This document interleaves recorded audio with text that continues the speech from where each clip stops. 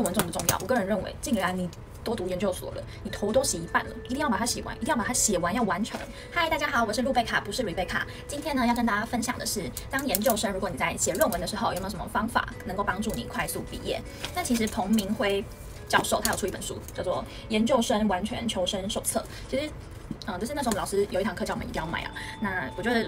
如果有需要就可以看一下。不过今天跟大家分享的会是我自己整理出我当时在写论文的时候一些小技巧，那跟大家分享。那我分成人、时跟地来跟大家分享。像人的部分就是自己本身，第一点是心灵上的，我就是必须跟大家分享，就是我的教授啊，他有八字真言，他就是说要保持健康、精神愉快。我觉得他讲这句话就是，你就自己去想，你一定要有健康的身体，才有办法完成这个不长不短的一个写作的过程。那精神愉快其实也很重要。那我先讲说，就是如果你在写作的时候，我们都是比如说找那种文件探讨啊，就是完成这张对我来讲是我觉得是最困难的时候。如果你卡关了，不管你是找资料的时候卡关，还是你写作上卡关，我觉得那就是代表你要去找你的指导教授的时候了。我常常就是。有一个点就是自己，你会想个三五天，然后一直想，有时候甚至长达两个礼拜还在想这件事情。我去找我的指导教授，我一问他，哎，不夸张，他一分钟一句话直接就是给我一种当头棒喝的感觉，直接把我点醒。我觉得那你何必要浪费那么长的时间呢？所以就是去找老师就对。如果你有盲点的时候，写不出来的时候，就是跟老师讨论的时间到了。再来呢，就是呃，我刚刚讲到保持健康、精神愉快嘛，所以其实有。你在写作的时候，我知道有些人就可能会闭关，比如说把 Facebook 删掉，把 Instagram 移除什么的。但我我个人认为啦，其实，在写论文的时候，你还是要有自己的休闲时间。像比如说我，嗯，我我还我还是很喜欢看棒球，那我其实还是会看个几场。当然，你。写嗯读书的过程当中，一定要牺牲自己的一点点时间，要不然你没有付出，不可能得到回报。那可能比例上就要做调整。但我觉得不是说当一个研究生就完全要嗯封锁你以前你觉得会让你很快乐的事情，比如说你还是可以跟你男朋友去看电影，你还是可以跟姐妹淘去聊天，那就是另外一种时间掌控了。如果当天不小心聊天聊太晚，那我个人啦，因为我其实没有很注重睡觉这件事情，那我就觉得就是熬夜就是要把它做完。你当天谁像你一样跟朋友聊那么久，那你就是利用你的。牺牲你的睡眠时间来完成这件事情。那有些人可能不在乎吃饭，那就一餐不要吃，就是省那个时间去完成你本来该完成的事情。那当然，最后回归前提的就是要保持健康。好，再来还有就是，嗯，我觉得你一定要利用利用这个词。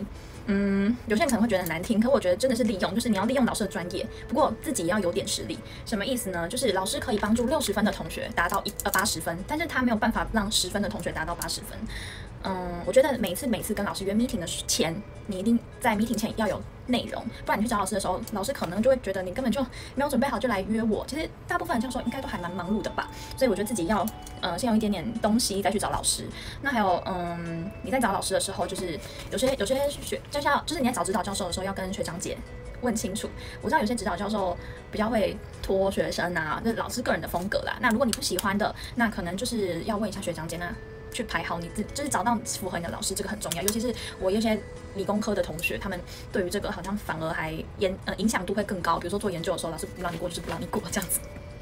好，那这是人物的部分，再到时间，时间的部分我是嗯觉得你要配进度。什么叫配进度呢？就是你以每日或者是每周为你的进度的一个安排进度的一个单位。像我个人，我认为以周，嗯，现代人都很忙嘛，有时候突然间。比如说你阿妈生日，你男朋友要跟你分手，呃，比如说还有什么，突然谁谁谁要开演唱会，你要去抢票等等的，会影响你本来当日该完成进度的一些事情的时候，如果你每一天每天都在 delay，你会觉得很烦。所以我觉得以周为单位是最好的。我我个人是认为每一周的结束在星期一天，所以我就是以星期天为一个礼拜的，就是你去看你有没有完成进度的时候。那有些人会认为每一周完呃的的结结束是星期一，有些人认为是星期五，那你就自己去做调配。我觉得以周会比较弹性一点啦。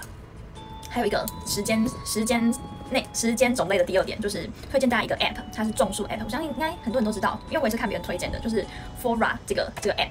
它就是比如说，嗯，你可以你可以种树，然后你只要一种树的时候，它最小单位是二十五分钟，所以二十五分钟内你都完全不能去碰你的手机。如果你不小心就是手痒，然后想去点的时候，它那棵树就会死掉。我觉得以善良的人来讲，就是你应该不想让你的树死，你的树会死掉吧？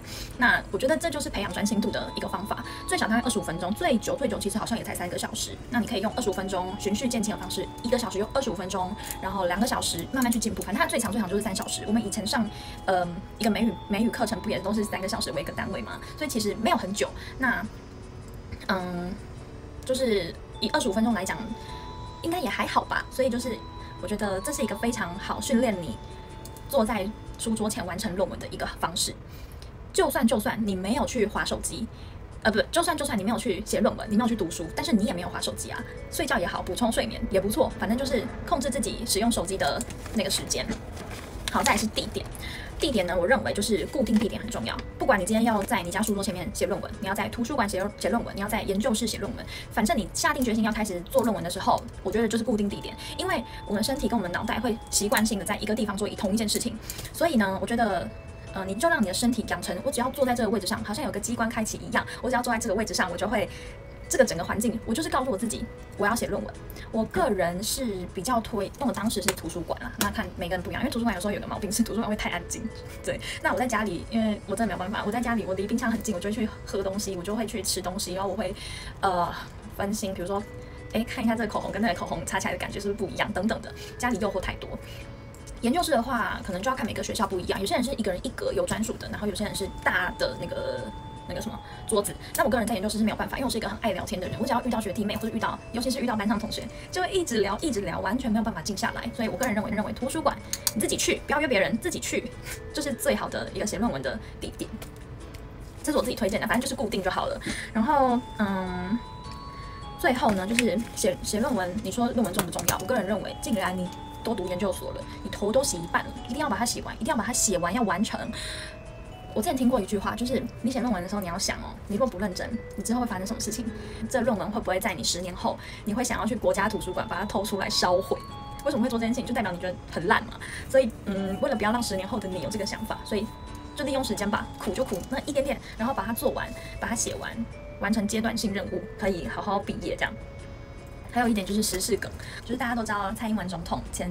阵子就是被大家讲说论文怎么锁住啦，不能下载啦，没办法看啊，等等的。你没有办法去预测你将来会不会成为一个大人物，你将来会不会有人呃非常想去看你的论文，或者是你做各行各业会不会就是需要被大众检视的时候。所以啦，就是还不如好好在这段时间努力，以后不要十年后、二十年后、三十年后有这种就是你会担心被大家检视的这种压力在。好，以上呢，嗯，我讲了人、时跟地这三个嗯大重点，然后跟大家做分享。那我做一下补充好了，因为我是嗯所谓的文组的，我是做植化研究的。如果你是理工科，你做的是量化研究的呢？我问一下我的朋友，他有给四点，我整理出四点重点。第一个呢，就是嗯，当你找教授的时候，一样跟教授有关。当你找教授的时候，就是要先去寻研究室。然后你如果看到很多呃硕三、硕四都还没有毕业的，那就自己判断喽。就是可能知道这个教授可能不是那么好，呃，放你走这样子。然后呃，第二点呢是。跟学弟妹要打好关系，为什么这样说呢？就是因为我朋友说，嗯，有的时候你在做研究的时候，你可能要去吃个饭，然后他那个研究有可能是突然间会产生结果，你要去做记录的，所以你就要请学弟妹帮你看。那这时候人际关系就很重要啦。然后还有就是，呃，还有你写完论文，你写个段落的时候，你也可能可以请学弟妹帮你挑错字，因为自己有时候会有盲点。对，那再来是。好，第三点呢是 paper 很多的时候怎么办？如果你时间不够的时候呢，直接看结果图，还有看摘要的最后两句话，前言跟介绍就不用看了，这是在时间不够的时候可以做的方法。再来第四点，不管你的实验是成功或者是失败，都要去跟你的指导教授做讨论，就是你要回报你的老师，你到底在忙些什么？还有你要回报你的老师，让他知道这个实验，嗯，就是不管成功失败，就是都要回报，不是一定要做成功的实验。好，这是我理工科的同学给我的一些帮助，我回馈给帮助我分享的一些呃秘诀。